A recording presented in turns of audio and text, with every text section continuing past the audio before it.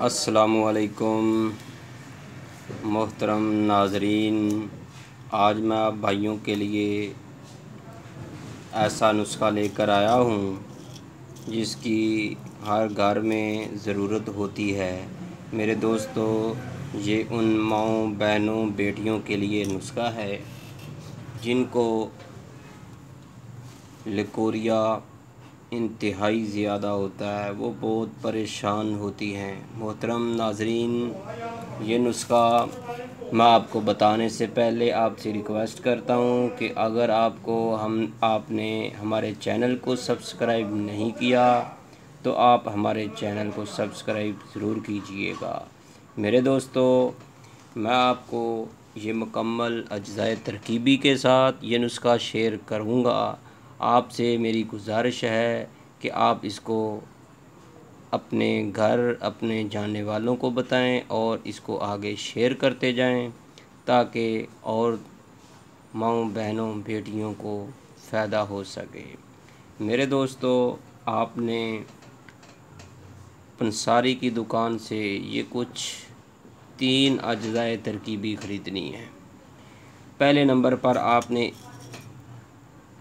دو تولے سبز الائچی خریدنی ہے، یہ دیکھیے۔ تیسرے نمبر، دوسرے نمبر پر آپ نے گوند کتیرہ کم از کم پانچ تولے ہو۔ دو تولے سبز الائچی آپ ایک تولہ بھی ڈال سکتے ہیں۔ دو تولے آپ نے لینی ہے، اس سے جو دانہ نکلتا ہے، ایسے یہ دیکھیے گا۔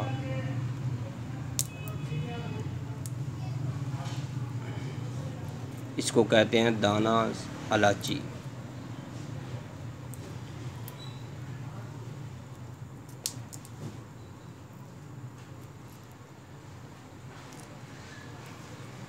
یہ آپ نے نکال کر دو تولے سے آپ نے بریک پاؤڈر کرنے ہیں۔ یہ ذہن میں رکھیے گا، اس کا استعمال لازمی ہے۔ آپ نے یہ والا چھلکا جو ہے اوپر والا، یہ استعمال نہیں کرنا۔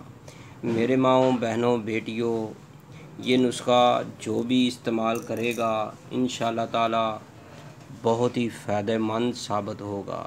کمر درد ہے، کندھوں کی تکلیف ہے، یا جسم میں بے چینی ہے۔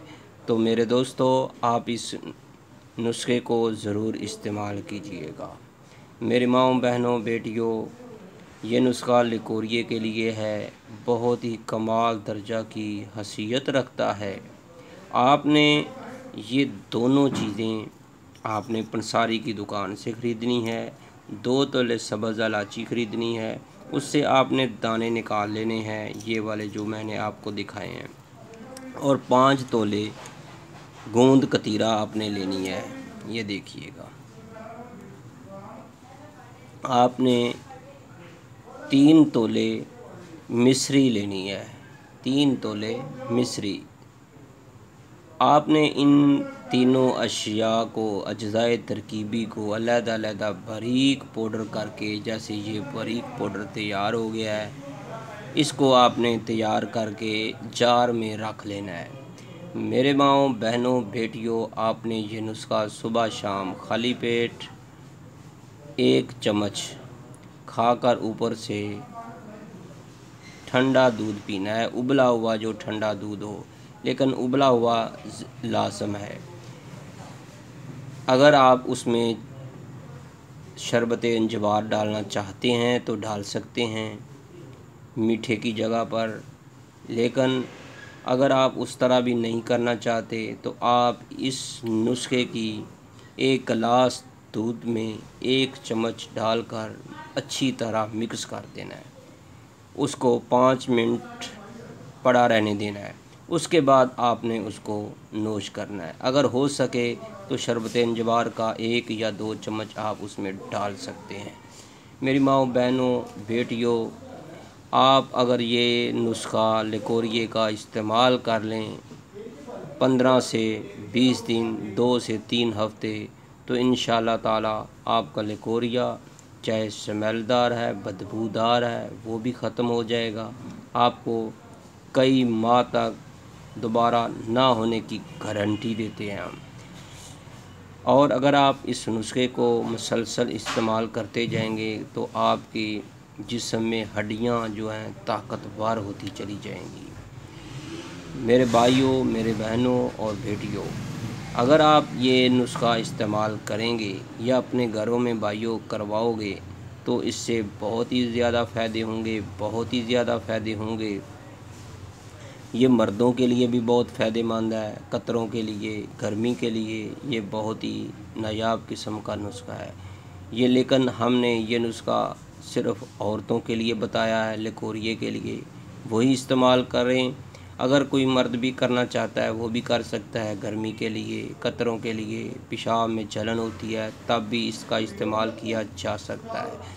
جیسے روزانہ دودھ میں ایک گلاس دودھ میں ایک چمچ ڈال کر اچھی طرح مکس کرنے کے بعد اگر اس کو نوش کیا جائے تو سارا دن جسم میں تپش جلسا دینے والی گرمی سے بچاؤ کے لیے یہ بہت ہی کار آمد نسخہ ہے۔ میرے بھائیوں، میرے بہنوں اور بیٹیوں، ماؤں، آپ یہ نسخہ خود بھی استعمال کریں۔ اگر آپ کو لکوریا ہے، تب بھی استعمال کریں، نہیں ہے، تب بھی استعمال کریں۔ آپ یقیناً جان جائیں گی کہ اس کا کتنا فائدہ ہے، کتنا فائدہ ہے۔ اس کا اتنا فائدہ ہے کہ آپ اپنی دعاؤں میں ضرور یاد رکھیے گئے۔ اب میں آپ سے اجازت چاہتا ہوں۔ اگر آپ نے ہمارے چینل کو سبسکرائب نہیں کیا تو چینل کو سبسکرائب ضرور کیجیے گا۔ اگر ہو سکے تو گھنٹی والا بٹن بھی دبا دیں۔ اگر آپ کو کوئی بھی سوال پوچھنا ہو تو آپ کمنٹ میں سوال پوچھ سکتے ہیں۔ اور ہمارا موبائل نمبر ہے zero three zero two four one nine six zero nine two Taiba, Dawakhana, حکیم، سندروی ماڈر ٹاؤن، لاہور۔ اللہ حافظ۔ السلام علیکم ورحمۃ اللہ۔